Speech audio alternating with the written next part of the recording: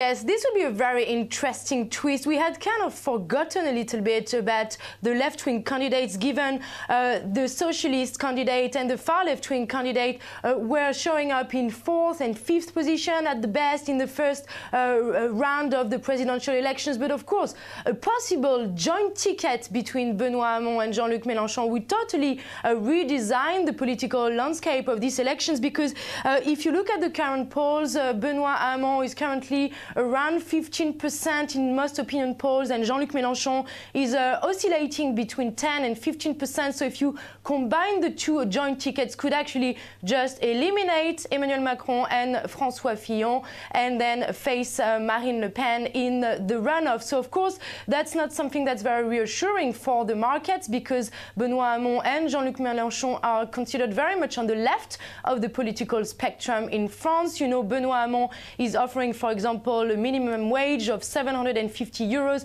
for every French citizen. He's also uh, working uh, with the economist Thomas Piketty to make uh, Europe more social, more political.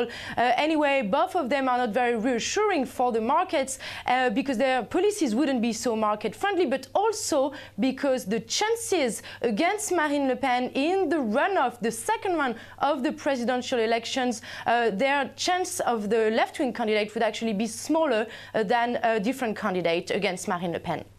And that's why we're seeing French bond yields rising today. Caroline, in the broader context, uh, is Macron still ahead in the polls when you put him head to head with uh, Monsieur Fillon?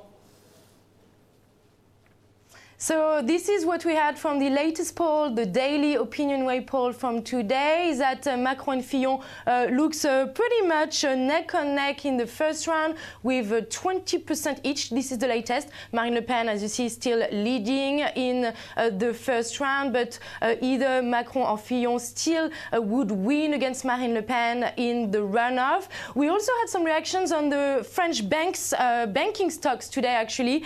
BNP, Crédit Agricole and Société Générale uh, all down following uh, this uh, news of a, a possible uh, joint uh, left-wing ticket, uh, even though all the French bankers we've been speaking with at, on Bloomberg over the past few days, from BNP to Crédit Agricole to Société Générale, have told us that they are totally ruling out Marine Le Pen victory in the presidential elections. They're not even considering a contingency plan if, if, that happens.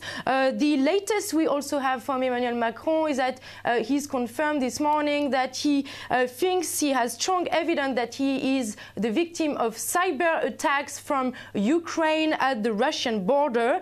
And meanwhile, on the campaign track of François Fillon, the investigation continues. Uh, François Fillon uh, had to uh, meet with Nicolas Sarkozy uh, this week, fueling speculation on what kind of advice he was seeking from the former French president.